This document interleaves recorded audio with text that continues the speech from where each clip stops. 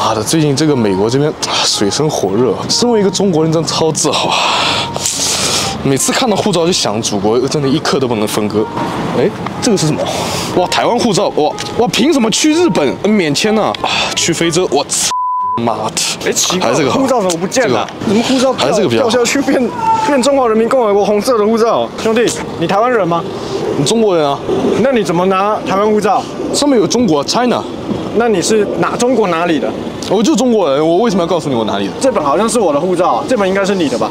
我们都是中华民族嘛，中华民族。来，你跟我说这个人是你，这个人是我。我刚刚就听到了，你说身为中国人很自豪，你还想偷我台湾护照？你拿过来你吧你！算了，还给你，我不要。台湾迟早统一，台湾终将被统一。我作为一个中国人，我很自豪。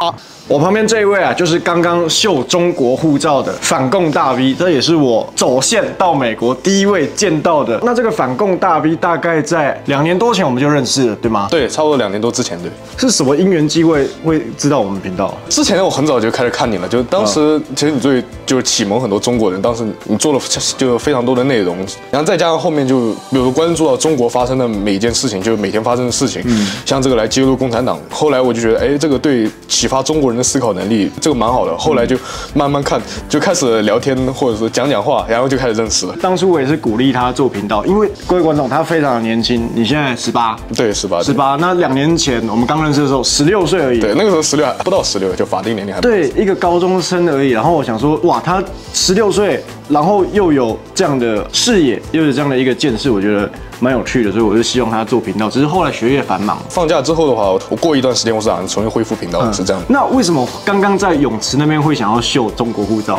是很牛逼还是？就小朋友，你们那个护照，你们可能觉得哇，中国人很自豪、很骄傲，看起来非常好看。那种护照确实，我也打开，我还看过那个护照设计的，确实就内部啊，不不说外表，外表很很难看，很丑。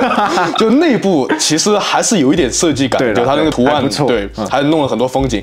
但是这本护照在那个国外的话，是真的一点都不受待见的，真的。对，居民啊，居民居民就是没有投票权的居民。居民，对，那我们来看一下，这本是赵家人的赵家人的护照，对。中华人民共和国普呃公务普通护照，它的免签国的数量，其实跟我们台湾一般人差不多。对，差不多，差不多就赵家人呐、赵家人。我我我不会秀，我只是看你。OK OK，像我觉得比较好玩的是这个，你看你的国籍它中文写中国，但是英文的国籍它写 Chinese，Chinese 对，它这个上所以我觉得非常好玩，就是你们的国籍叫做 People's Republic of China，然后你的国籍又是 Chinese，所以到底你的国籍是那个讲这个我我是这么看的，就他其实也是在搞大一统，因为那个 Chinese 它的就是说它的英文的定义有很多，有、啊。有中国中国人、华人，华人还有华裔，或者说有中国血统、有中国文化背景，还还有就是说全世界跟只要是跟 China China 沾上任何一点关系的人，他都会搞搞成是这个在美国长大的那种华裔，啊。他可能就他只是有华人的血统，但是他并没有他已经跟中国没有什么关系了对。这个 Chinese 也会包含到那个里面，也会包含到就就就是一种大一统啊。开始做这个反共的时候，听说你也是一个蓝统，就是一个大一统。啊，最早一开始是的，你的这个大一统是中华民国要统一回去啊，就以前的差不多是两三年前的时候，那个时候是这样想。因为嗯当时我的想法是什么？就是台湾现在必须现在发兵，现在反攻，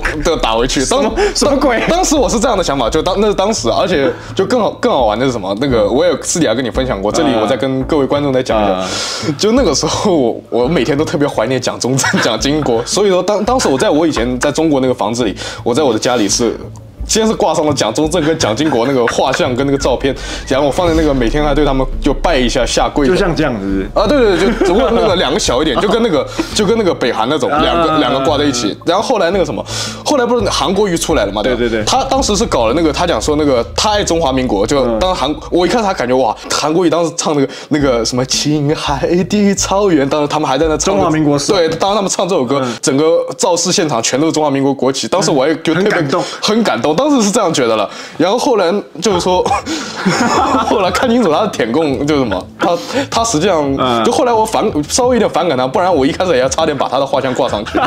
靠腰，对一个三个，那个时候一开始我还是男同嘛，对吧？对后来的话就觉得反共就可以了，就是说我们还是一定要统一。当时我就觉得，呃，国家统一是最高目标，就不管是怎样，就是可能反共甚至在那种时候对我来讲可能是第二位，甚至我觉得还要不光要就是说台湾跟中国要统一，当时我还觉得什么外蒙古、唐努、乌梁海，什么外东北啊、外西北这也一一起统，甚至当时以前我最我最夸张的想法什么？就是你知不知道，就唐朝的时候，那个时候版图都扩张到什么斯坦国那个。就是那个碎叶城，呃，对对对，李白的家乡，呃，对，还有吉尔吉斯，对，吉尔吉斯、哈萨克这些，我觉得这些还要都统一。还有像那个，不光是这个，以前我甚甚至觉得还什么越南啊、越南什么朝鲜半岛啊，什么啊，甚至日本都要统一。我我以前是这么觉得了，就觉得大家一起搞民主，统一一个民主的大国就不好吗？我当时是这么觉得的。该不会你那个时候也认为成吉思汗是中国人吧？啊，那个时候是这样的。所以就是说，成吉思汗打下来的领土都是中国的，呃，以前是打。到快打到耳跌了。呃，就打到那个叫那个叫基辅罗斯。对对对对对乌克兰，哇，那乌克兰是中国的一部分，很荒谬哎。对，那个时候，当然我就因为那个时候大一统教育，我就觉得国家版图越大越好。当然我是没有考虑过就背后的任何想法。其实我跟你就聊天的时候，你后来提到有一点让我慢慢开始觉就哦觉醒什么，就是你你当时跟我提到有一点，这个国家领土越大，对吧？政府的行政开支是越来越高的，而且有很多地是荒荒废的，是没有用的地。这种情况下，你的人民要交的税啊，那就会越来越重。当时你跟我讲到这一点，我我才开始慢慢去思考这个后面的一一系列弊弊端。当然这只是一个开始，后后来后来还有一些其他的，就像你把不同的民族、不同的文化背景的人，你把他们强行整合在一起，你没有那个遵循他们的想法，你就把他们搞在一起，这样你后来我想了一下，为为什么古代会有那么多杀戮和战争，啊包括现在共产党搞，就是因为要统一嘛。像这里我还在揭露一点了，很多人喜欢讲说分裂会乱，其实分裂不会乱，是怎样会乱？分裂的情况下，如果这边出现了一个想要统一的人，他一定会乱，一个以上。对一个或一个以上，那就会乱。就像如果战国七雄那个时候，什么秦、齐、楚、韩、赵、魏、魏什么的，如果他们都想要脱离周王国，嗯然后周王国也允许让他们独立，然后那这样就是八国嘛，对。八国联军，这八国，然后他们互相承认、互相独立，然后互相邦交、互互侵犯。对，那这样其实中国这片土地传承到现在，它的多元性跟包容性，而且那个文，不输他的文化，欧洲哦，不输欧洲他他的文化绝对会发展的很好。对，因为他们各国虽然我们不会互相去打仗，但是我们会文化去竞争。对，因为因为那个大一统想，吸引的人才来我这。对对对对对对，但是是不弄武力的。对，不能武力的，对。对，所以我觉得这样子会迫使大家去激发脑力激荡，会去哦，这是良性的一个竞争。对我觉得对于科技来说会是发展非常好，而且文化交流，而且一定就是像如果巴蜀现在独立的话，它就是它独特的文化，而且他们的语言也不会叫做方言。就虽然说我们看了，我们谈的是国家跟国家之间关系嘛，其实其实这也是从个人，就是说从个人起来能发现，如果说一个人他那个像国家，其实就是相当于如果说假设台湾今天要独立，然后大家公投一都通过了，大家都想独立的话，那这种情况如果有人逼着你不允许你不允许你独立的话，这种情况就跟现实中就是说就跟结婚或者说谈男女朋友，就是说一一个人想分手，然后另外一个人不允许他。不允许他离开，就差不多有点这个意思。就其实你从个人的那个角度来看的话，就就相当于可以讲叫恐怖情人那种。对 你那个时候没有露脸，但你还是被中共找到。啊，对，还是被找到。对，你要不要跟大家分享一下？就当时我也没有变声，我就只开了一个小频道。那个时候频道还蛮小的，就是说只有几千人订阅嘛。对那个观看量也不是特别多。个人认为是被小粉红检举。当时是在我被找到的那个之前，当时有人在我的频道下面跟我留言，讲说什么你很快就有麻烦了。当时我一开始没有，我没有在意啊，我就把它置顶了，就像你以前置顶小粉红，然后我就觉得这个蛮搞笑的嘛，我就把它置顶了。结果没想到我后来后来真的有人来我敲我门了，就嗯，对。结果你置顶到的可能真的是网警，是吧？哦，我不清清楚是王景还是小粉红，还是说我认识，就有可能是有人害我。我个我个人是这么觉得，因为他到底是怎么找到你的？我我蛮纳闷的。我觉得这个就很奇怪了，就是我个人觉得可能是跟我认识的人有关了，因为你认识的人知道你有在做这个吗？呃有一些人是知道的，那他是小粉红，像我以前在中国上学，有有一些小粉红是比较讨厌我，我我估计有可能是跟那个有关系了。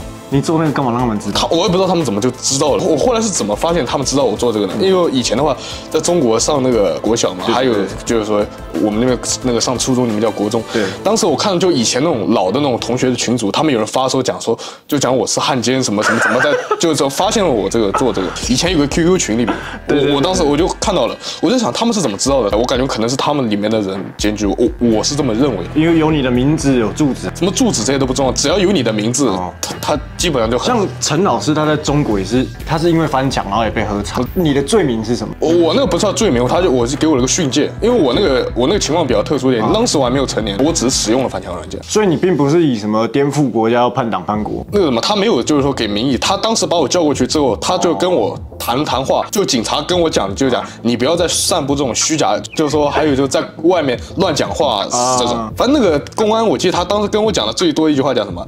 就讲年轻人，你年少有为，讲什么不要做这种事情，讲你问问问自己对得起自己良心吗？他可能觉得你还小，还有还有被中共挽回爱党啊，他他是这么觉得的，对。哦，所以就给你一个训诫，对是写悔过书啊，对，写悔过书。然后当然在里面的话，也不能算拘留，就是你知道，就中国的公安局派出所不是审讯室，就是说让你在里面等，然后他公安去处理事情，你在那个里面就坐坐。当时我在里面坐了一会儿，就是说他的话是三面墙，然后那个墙是软的，然后一面玻璃那种，然后一个门把你临时关在里面。所以你你有被羁押很久吗？还是啊几个小时吧？啊后后续他们他们就经常打电话给我，感觉是跟你聊日常，就问你过得怎样。有病啊！就是说国家是在关爱你，就是说希望你们身心健康。屁呀！他们是讲叫你们是祖国的小花朵，什么祖国的未来，是祖国的栋梁，他们就这么讲。公安他们训话，他们是软硬兼施，看起来是该跟你讲道理，或或者跟你怎样。但如果说你比如说回避他他们的问题，或者没有给他们满意的答案，对吧？他们就开始以一些就是说一些事情来逼你，就是讲说你未来要什么，就是说给你留个记录，你去美国也想办法上不了学。他们当时没有直接讲，但他给我给我了个暗示，我明白暗示就是这个意思啊。对，嗯，留学或者说工作签证的、移民，就他都有个叫那个无犯罪那个记录那个证明。对对对对。共产党现在他学的很聪明，他不会说给你个颠覆国家，如果他给你个颠覆国家，就是可以政治庇护了。对，但他现在就给你什么寻衅滋事啊，或者说什么其他的什么什么散布虚假讯息，就弄这种东西。就外国的他的移民局、他的政府看起来感觉是你是因为其他的那种刑事案件，就你需要解释很久，就比较麻烦。你是因为这个事情才来美国读书，还是之前就有这个？我当时一开始我在那个就中国那个初中那个毕业之后，我当时申请了那个美国学校，我其实是已经那个在美国当时读了半年。后来为什么要回来呢？第一是因为中国有疫情，第二的话，我是当时就已经脑子已经比较清醒了。就当时我回来之后想是做一些事情，我当时在我们的那个社区还有我们那些街道那里面，我就偷偷写一些标语，贴一种小传单那种，启蒙更多身边的人。当时是这样的想法。然后后来没想到那个被找了之后，我就觉得在中国国内再继续这样做的话，可能效果也不会很好，而且可能给我自己还会带来很多麻烦。然后后来我觉得可能到国外来能做的事情就更多，然后我就出来了。你过来这边生活两年多，这边有什么你最不习惯的？那个从交流圈子，可能我还是比较喜欢跟那个东亚人交流，就中国清醒的中国人跟那个像日韩台这些，可能比较跟他们交流比较多。你日常在美国遇到小粉红？以前学校有遇到过，不过后来的话，那个人他也不敢搞我了。学校给过给过他他一个 warning，就是给过他一个警告。所以你是打算未来拿到美国的公民？先先拿居民，先一步一步公民一步步。呃，像我们还是有些台湾人他不理解。就是为什么明明骂政府会被颠覆国家政权？你这个还是比较轻的，你只是被训诫。对我只是被训诫而已。但是还是有很严重的那一些。对。但是如果说你当时如果是公开像四通桥勇士这样反习近平，那那应该蛮惨的哦。都都会蛮惨的。各位观众有兴趣的话，去多订阅你的频道，叫做大家搜寻陈正明就能找到我，放在这里，好不好？大家多多订阅关注。那今天这个第一位采访反共大 V 陈正明明先生，也感谢八九的支持，谢谢大家。好了，今天影片到这结束。喜欢记得订阅我，不喜欢记得把我封锁。我是八九小金南，拜拜拜拜。